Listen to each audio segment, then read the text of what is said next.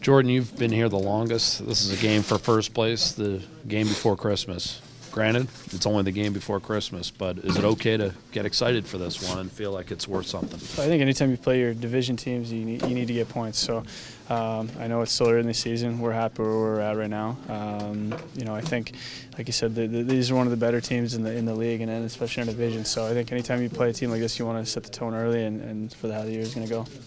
And again, having been here the longest, I mean, is it nice to get these watershed moments? A win at the New York Islanders, a win at Detroit, a win at Arizona.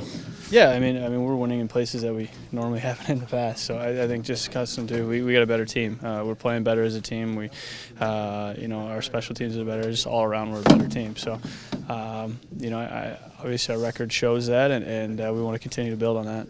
Individually, uh, you had a game against Arizona where there were a few more scoring chances than in recent games. Do you feel it's coming? Do you feel like you're getting closer?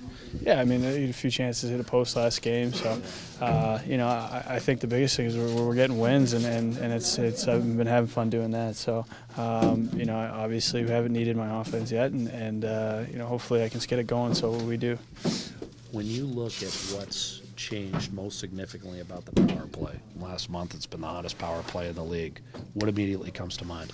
Uh, I think for one, we have, we have two units going. The first unit, they're playing really well. They've scored. Uh, they're getting a lot of good chances and good looks. And then when we go out, we, we've had our good looks too, and we're scoring too. So anytime you get two units going, it's tough for teams to defend that.